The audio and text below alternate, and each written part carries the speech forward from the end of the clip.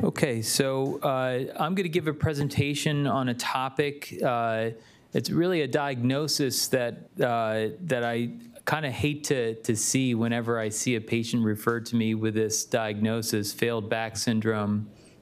Um, so I, I, figure I would go ahead and, and discuss uh, this this diagnosis in general and give some examples of why the diagnosis may not actually be be correct. So uh, these are my disclosures. So the history of failed back surgery syndrome uh, uh, starts uh, after 1934, uh, after the seminal paper by Mixter and Barr, when uh, uh, disc herniation was found to be the cause of back pain and sciatica. Um, so after 19, this paper from 1934, spine surgery became very popular.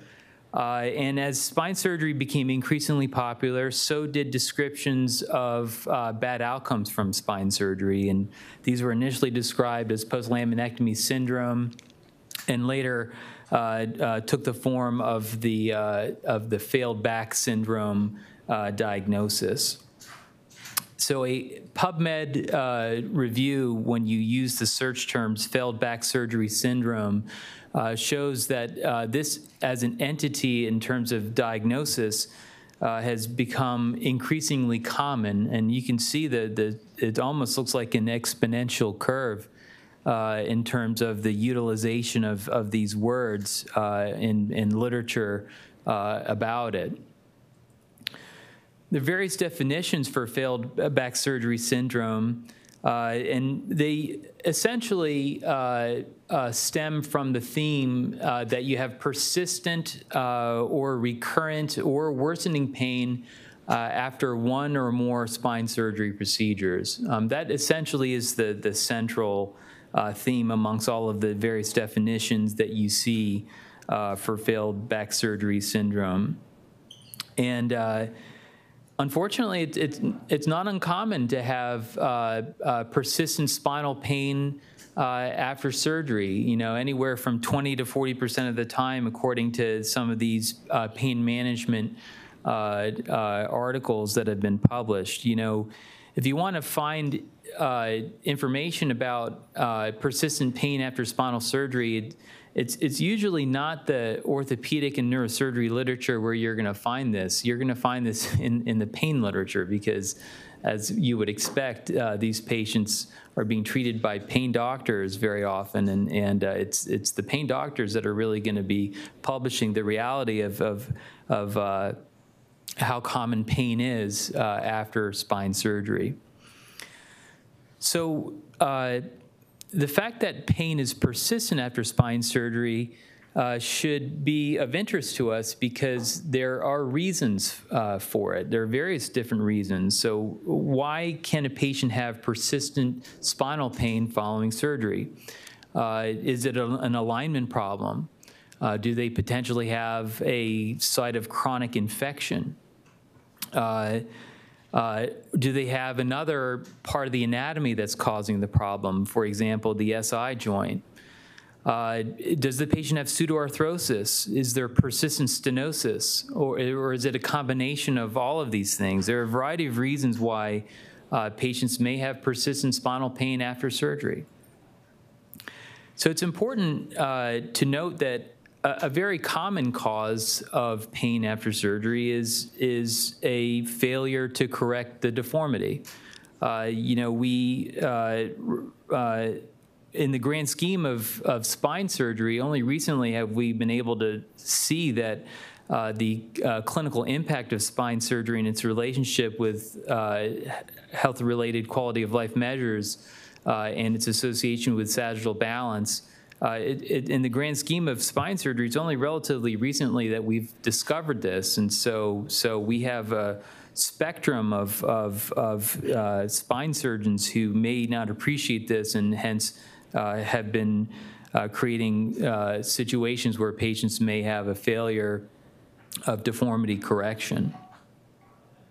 So we'll we'll move on to uh, various examples of, uh, of, of surgeries uh, that could be classified as failed back syndrome when in reality it was a failure to uh, completely uh, perform uh, uh, surgery to address both deformity and various other factors. So this is a 76-year-old physician, uh, status post lumbar decompression with severe worsening back pain and leg weakness. Uh, imaging was consistent with residual foraminal stenosis, and rightfully so. I think the referring doctor didn't do an aggressive decompression because he's obviously was worried about the scoliosis, but this is not a typical candidate for a decompression. So uh, that being the case, uh, given his age, uh, we wanted to provide something that would not completely correct his uh, imbalance, but uh, partially correct it and also give us the latitude to provide a uh, better uh, uh, uh, decompression. So th- this essentially is is what what was done a partial correction and stabilization of the critical levels with and he felt substantially better and actually was still working as a psychiatrist um, and uh, had returned to work uh, uh, shortly after this, this surgery. So, in this case, the cause of the failed back syndrome was uh, the, the, the, the failure to completely decompress the neural foramina. Uh, and the uh, uh, failure to address any of the of the sagittal balance.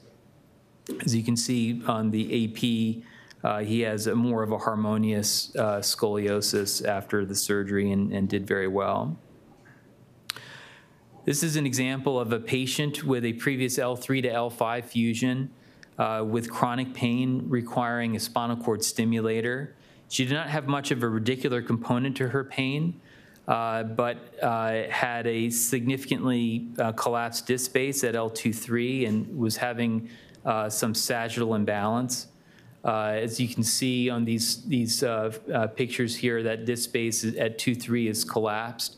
Again, this would be uh, a patient who would be classified as a failed back uh, by, by definitions uh, that have been established. This, this, this patient was really not having much of a radicular component, but was pure back pain, and she had a, a, a, a sagittal im- imbalance as well. Uh, So for this case, uh, we uh, ended up uh, uh, doing a uh, prone XLIF. Uh, And as you can see uh, depicted in these photos, uh, this was the, the approach. And uh, ultimately, uh, we, we gained access uh, to the disk space and distracted it open. Uh, And were able to put in this cage to help elevate that completely collapsed disc height. Uh, Depicted here, you can see the disc height elevation. Uh, We did a percutaneous posterior fixation uh, and attached to the existing construct. Uh, And you can see uh, the results over here showing improved lordosis and improved sagittal balance. So in, in that situation, the failed back syndrome was, was the uh, adjacent segment disease. You know, and adjacent segment disease doesn't mean that the previous surgeries had failed. It's just the fact that the patient needs more surgery. Again, another, another example of a patient with an L2 to S1 decompression infusion. This patient unfortunately developed pseudoarthrosis and further disc space collapse and retropulsion of disc material or vertebral body material into the canal. Uh, this was a patient who needed a larger surgery with larger diameter screws, augmentation. Uh, uh, uh, you can see uh, there was a correction of the sagittal balance. We did a three-column osteotomy at L4 uh, and uh, inserted some, a a cage into the L4-5 and L5S1 disc spaces in order to provide some anterior column support. Uh, This patient had a rec- res- reconstruction uh, that resulted in an improved sagittal uh, imbalance uh, and, and did very well. You can see with, with the uh, vertebral augmentation, she was able to maintain uh, the uh, integrity of, of the fixation. Uh, And uh, again, this, the, the the failed back in this situation was uh, the multiple surgeries that the patient previously required to do the decompression, followed by instrumentation, followed by hardware failure and pullout. So that was the cause of that patient's failed back. So, uh, moving on uh, to another uh, example of a failed back. This is an interesting case of a 49 year old uh, with a, uh, a loss of lumbar lordosis and a, de- a disc space that was kyphotic. Uh, uh, my first approach to this, she also had some foraminal stenosis at L5S1. Uh, I initially treated this patient with a standalone ALIF. Uh, her pain did not get better, and I thought maybe the standalone ALIF wasn't providing adequate fixation, and maybe perhaps I didn't get enough of an indirect decompression. Uh, her symptoms were in the L5S1 distribution. Uh, so we followed this with a posterior instrumented fusion with foraminotomies. She still did not get better. Uh, so finally, uh, you know, uh, after uh, this was back in 2015 and 2016 when there was increased popularization of the SI joint as the etiology of, uh, of, of, of pain, especially in the setting of an L5S1 fusion. And so finally, uh, you know, I, it came to my discovery that this patient really wasn't having as much of an L5S1 uh, decompression, but was having uh, SI joint dysfunction.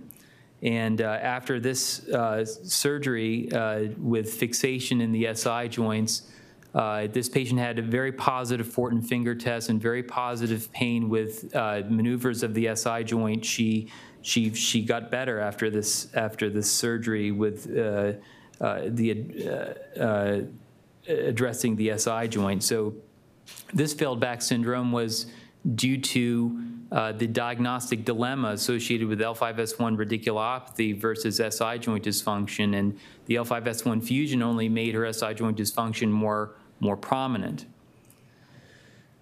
So another example, persistent back pain after an L5S1 TLIF.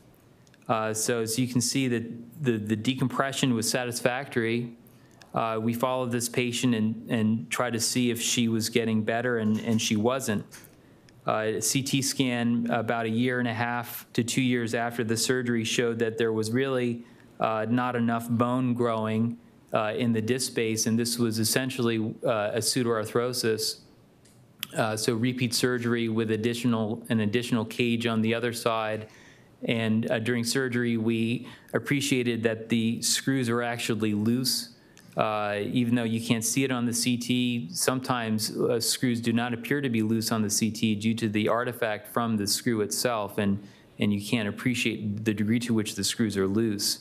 So this patient did, did miraculously well after, after this uh, revision surgery and had complete resolution of her symptoms.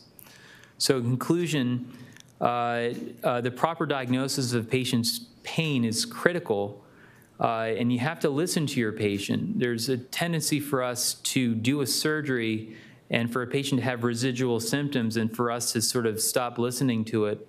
To, uh, and you, you, really have to listen. If chances are that if the patient is having persistent complaints, that there's usually something that you can find uh, that would be potentially addressable. So if, if we label all of our patients as, as having a failed back syndrome, uh, uh, it, it basically doesn't get us closer to the problem and, and the ability to address and fix the problem. And, and when using correctly, uh, the term of failed back syndrome can have medical legal implications to suggest that the surgery was done incorrectly when may not, that may not necessarily be the case. And uh, carrying the label of failed back syndrome can potentially prevent the patient from getting the care uh, that they need. And for this reason, uh, the, uh, there's a movement to remove failed back surgery syndrome from the ICD uh, classification system. And uh, for the ICD 11 system, it's going to be called persistent spinal pain syndrome. and that's there's an algorithm uh, embedded in this paper uh, published in January 2021 that shows the different subtypes of persistent spinal pain syndrome, and it's going to be a more targeted way to help diagnose and treat these patients.